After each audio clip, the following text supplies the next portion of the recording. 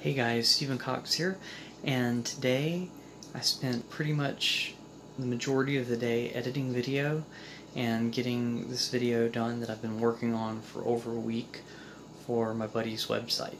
And so it's a ukulele original that I basically um, taught a lesson on and had to edit the lesson. And it was just much more in depth than the kind of lesson videos I do on my Stephen Cox Bass channel. So it just took a lot more time and a lot more energy.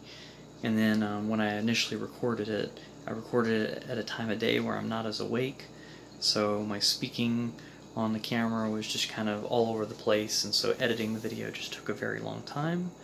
But I'm glad to say that it's finally done, and I'm glad to be um, through all that. In other news, I also paid off my car today. So I had about like a fourth of the loan left, and I just decided to just go ahead and pay it off.